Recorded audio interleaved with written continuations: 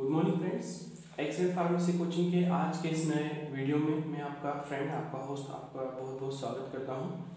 आज का हमारा टॉपिक रहेगा aerosol packaging okay so pharmaceutics first में ये एक इम्पोर्टेंट टॉपिक होता है, जिसको एग्ज़ाम में अधिकतर पूछा जाता है तो हम आज इसके बारे में पढ़ेंगे एरोसोल पैकेजिंग के बारे में। ठीक है? तो दोस्तों हम देखते हैं एरोसोल पैकेजिंग क्या होते हैं। जनरली मैं आपको एग्जांपल्स के लिए यहाँ पर ये चीज़ दिखा रहा हूँ। जैसे आपने रूम फ्रेशनर या डिओड्रेंट ठीक है? या फिर स्प्रे देखा होगा जो इस तरह से होते हैं, ठीक है? ये जस्ट फॉर एक एग्ज़ाम्पल है। तो ये, इनको जब हम प्रेशराइज करते हैं तो इस, इधर से जब प्रेशराइज करते हैं तो यहाँ से जो लिक्विड होता है इसके अंदर या जो ड्रग होती है, वो पार्टिकल्स बाहर आ जाते हैं, ठीक है?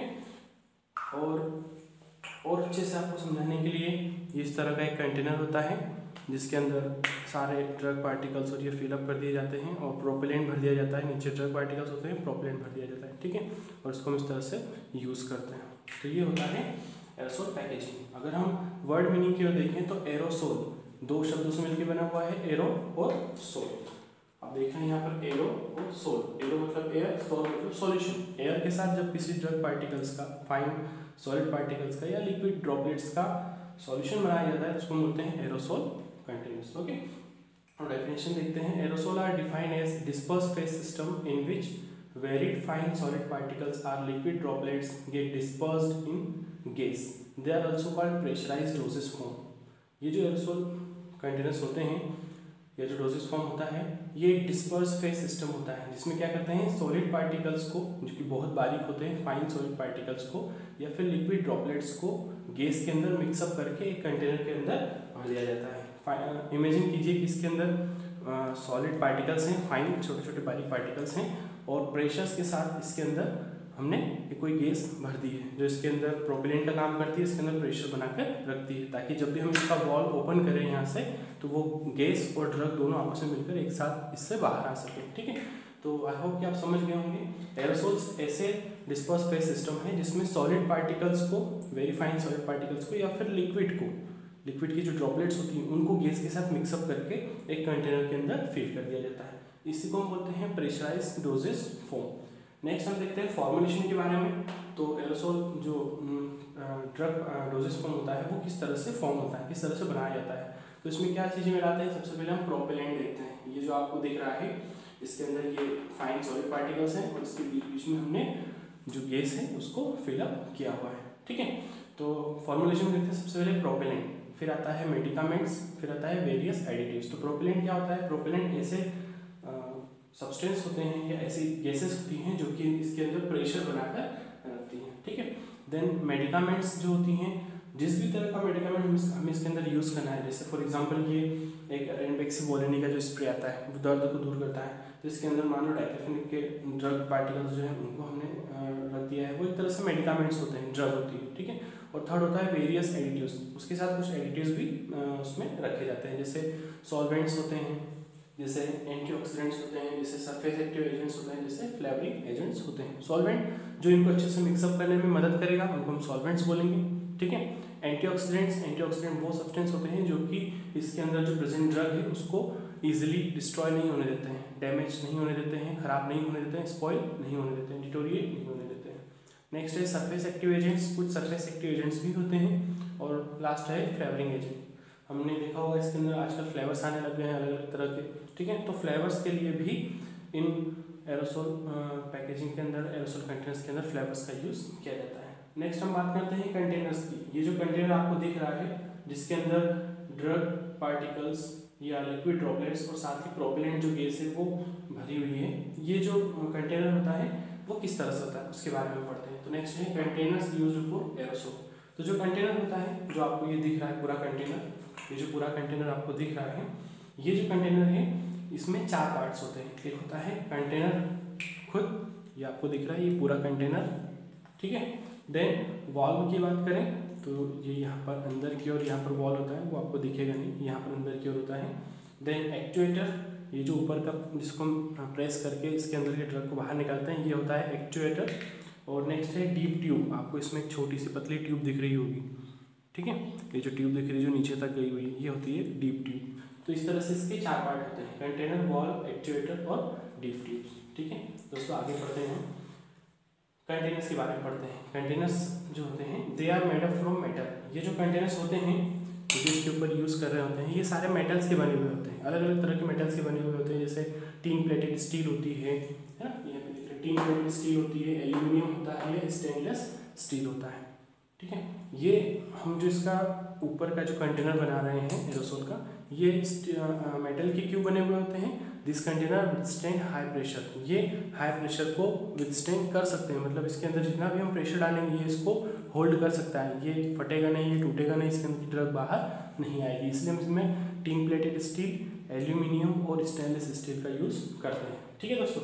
तो ये हो गया इस कंटेनर के बाहर का, ये जो मेटल का बना हुआ पार्ट होता है, इसके बारे में। अब हम देखते हैं वॉल्व के बारे में, जो कि यहाँ बीच में होता है, ठीक है?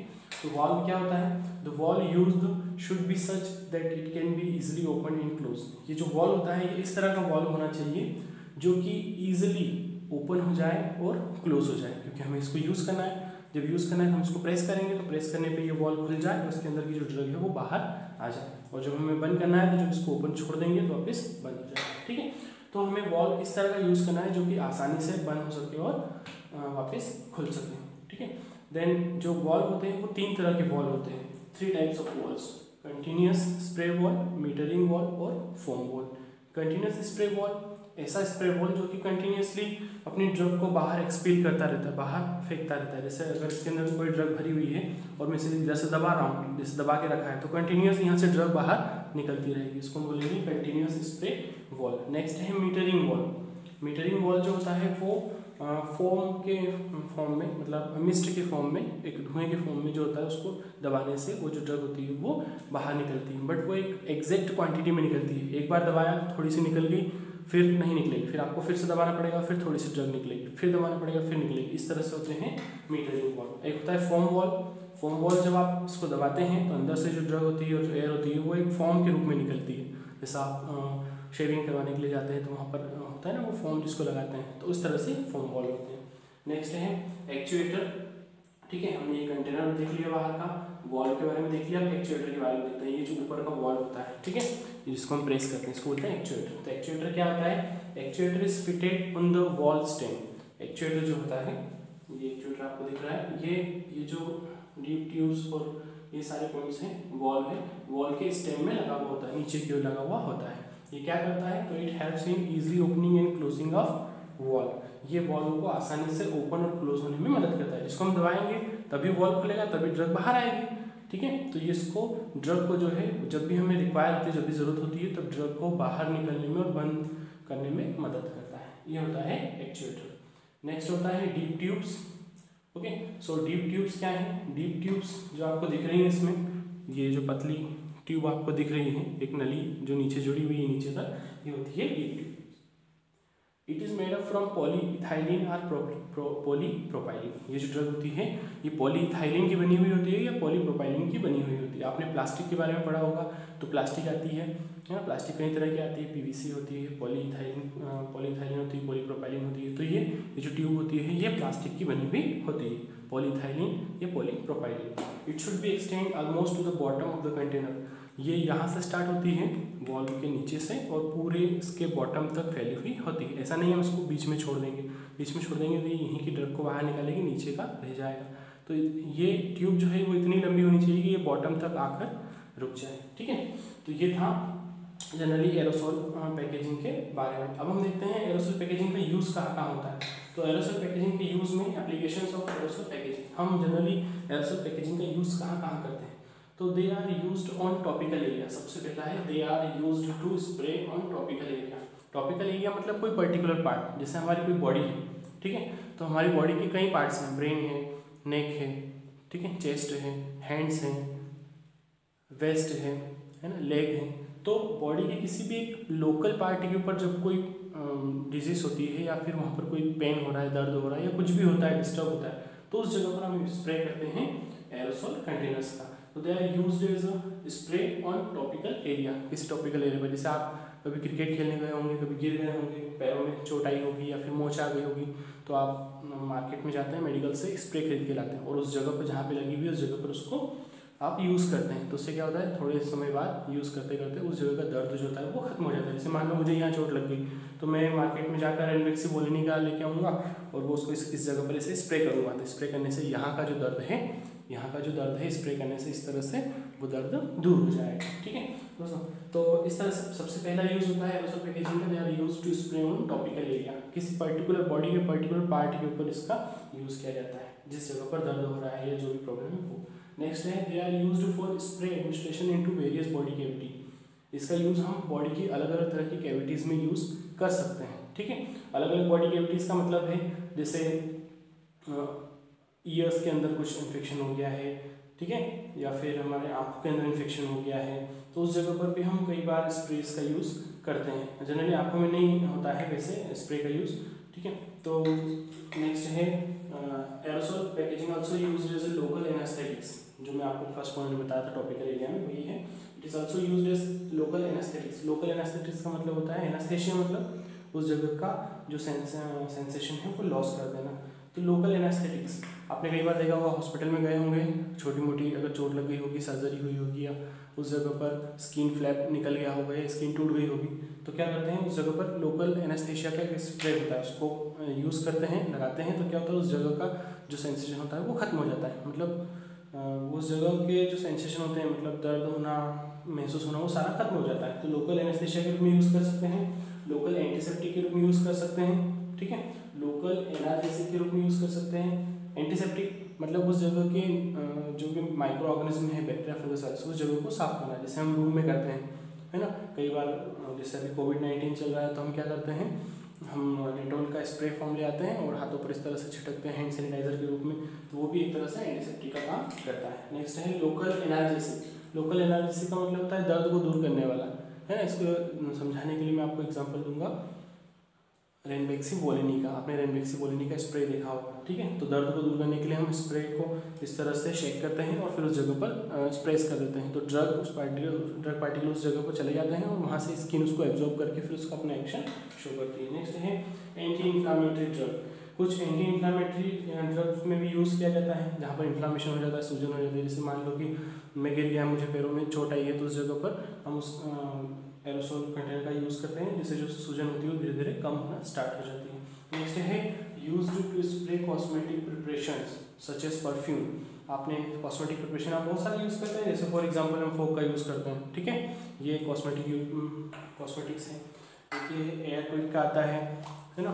ये क्या करता है? ये फ्रेगनेंस क्रिएट करता है, अच्छी वाली फ्रेगनेंस। जब भी हम कुछ बेड स्मेल होती है तो फ्रेगनेंस का यूज़ करता है। तो इस तरह से स्प्रे का कॉस्मेटिक प्रिपरेशन में भी यूज़ किया जाता है, या एरोसोल का परफ्यूम वगैरह या कॉस्मेटिक प्रिपरेशन में यूज़ करते हैं। नेक्स्ट है यूज़ एज ए डिसइनफेक्टेंट है ना? डिसइनफेक्टेंट के रूप में भी यूज़ करते हैं डिओड्राइजर या एयर सैनिटाइजर के रूप में भी यूज़ करते हैं। आजकल आपने देखा होगा कि डिसइनफेक्टेंट कई सारे आ गए हैं जो कि एरोसोल के फॉर्म में आते हैं, ठीक है? कई सारे डिओड्राइन डिओड्रेंट्स आ गए हैं, जैसे हम एग्ज़ाम्पल ये ले लेते हैं फोक का। ये क्या है? एक तरह का डिओड्राइ, डिओड्राइजर। नेक्स्ट है एयर सैनिटाइजर एयर सैनिटाइजर भी आ गए बहुत सारे, जैसे ये इस तरह से लाइफ साइंस का एयर क्विक का बताया है हमने। तो एयर को भी सैनिटाइज करने के लिए एयर सैनिटाइजर्स होते हैं, वो एरोसोल फॉर्म में ही बनाए जाते हैं। तो जनरली फ्रेंड्स ये जो टॉपिक है, ये बहुत ही आसान है। ये आपने देखा हुआ है, आप मार्केट में, आपके घर पर तो आपको एक बार जब आप पढ़ोगे तो आपको आसानी से समझ में आ जाएगा। बस मेन पॉइंट यही है कि आप जब भी पढ़ो तो वर्ड मीनिंग को ध्यान रखो। जैसे मैंने बताया एरोसोल अब एरो मतलब एयर और सोल मतलब सॉल्यूशन एयर के साथ ये किसी गैस के साथ ड्रग पार्टिकल का सॉल्यूशन बनाना। वो drug particle fine solid particle भी हो सकता है या फिर वो ड्रग पार्टिकल लिक्विड ड्रॉपलेट भी हो सकता है। उसको हमें गैस के साथ मिक्सअप करके इस तरह से बनाना है कि जब भी उसको हम ओपन करें तो वो ड्रग बाहर आ सके। ठीक है? आई होप कि आपको समझ में आया होगा और आप सभी का बहुत बहुत धन्यवाद कि इस चैनल को आप लोगों, सभी ने लोगों ने सब्सक्राइब किया। और मेरी आपसे फिर से यही विनती रहेगी कि दोस्तों, जो भी लोग इस वीडियो को नया देख रहे हैं, ज़्यादा से ज़्यादा लोग इस वीडियो को अच्छे से देखें लाइक करें सब्सक्राइब करें, ताकि मैं इससे भी और अच्छे से वीडियो आपके लिए लेके आ सकूँ। Thank you very much for watching this video